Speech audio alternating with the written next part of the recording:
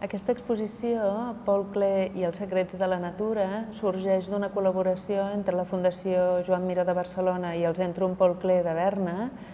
El Centrum Klee ens va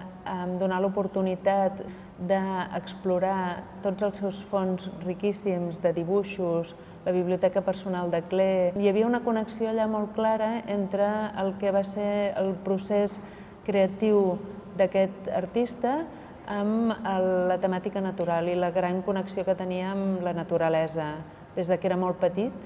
fins als, als, seus últims dies, quan va començar la Segona Guerra Mundial. Aleshores, el que vaig pensar és que valia la pena fer un traçat cronològic i seguir totes aquestes fases de, de l'evolució artística d'aquest artista excepcional.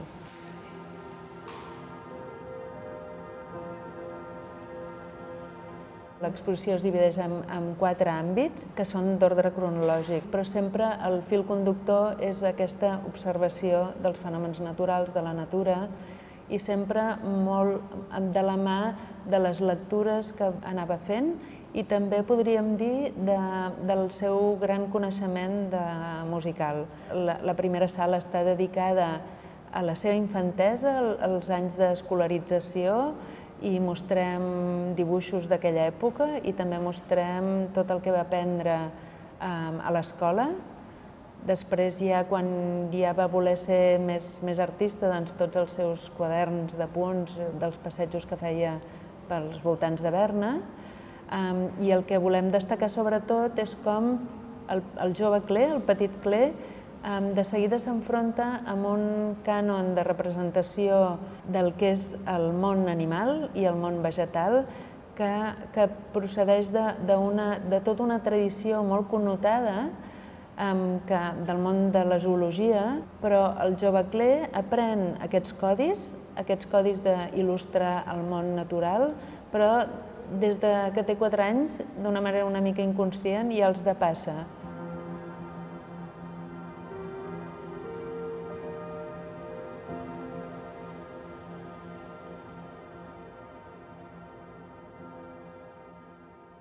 La segona sala està dedicada als, als anys al voltant de la, de la Primera Guerra Mundial. Um, aquí Clay ja, ja havia format part del, del famosíssim um, grup expressionista moniquès um, de Blaue Reite, el Janet Blau, um, i aquí ja, veia, ja el veiem ja com, com a membre de,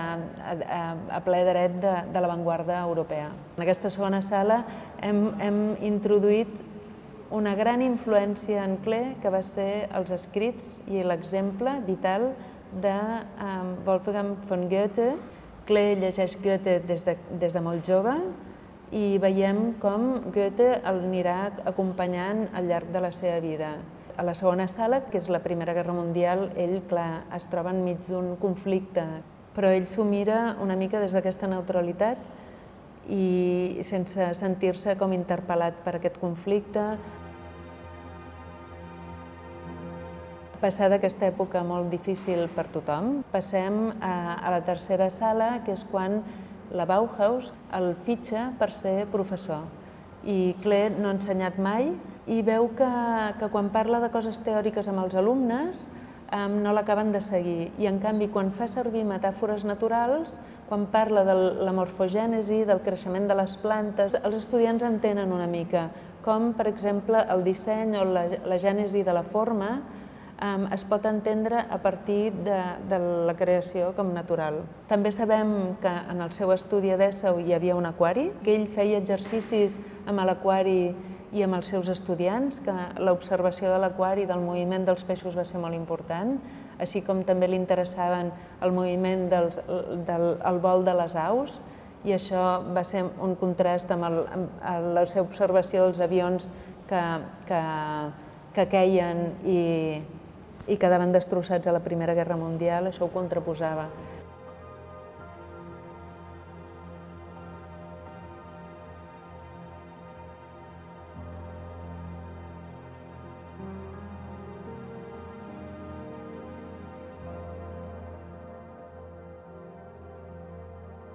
Passem a l'última sala, que és quan eh, els nazis li comencen a fer la vida impossible, a ell i a molts artistes considerats moderns i avantguardistes. Ell marxa de la Bauhaus l'any 31, Um, després um, accepta un, una posició, un càrrec de professor a Düsseldorf, però allà es, es comença a complicar tot molt i a l'any 33 el, el cessen en el seu càrrec. Poc després, arran del xoc del que representa aquest, aquest eh, desarrelament, aquest, aquesta fugida, aquest exili d'un context germànic que ell considerava també el seu, considerava que era la seva pròpia cultura, um, i que ell havia fet una aportació a la cultura alemanya molt important, però que això no es reconegués, això li va suposar com un, un dol i, i molta tristesa, i a Berna van intentar com reconstruir una mica les seves vides, ell i la seva dona, la Lili, però al cap d'un any i mig es, es declara una malaltia um, que ja, que, que al cap d'uns anys, al cap de cinc anys, ja li provocarà la mort. Podem dir, i ho veiem a través de la seva obra, que aquesta dificultat física també l'apropa a una realitat que va ser que el seu cos l'impedia com desenvolupar la, el traç virtuós que havia tingut durant molts anys, acaba apropant-se físicament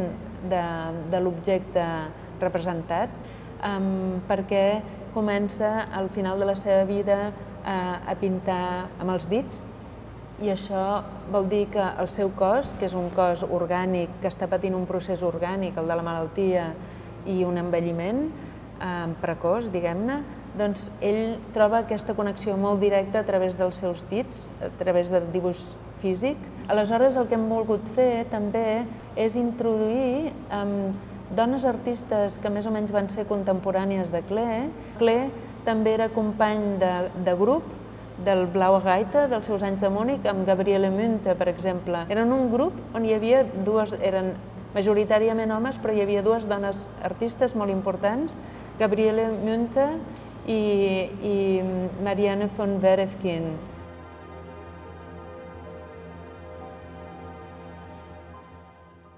A la segona sala tenim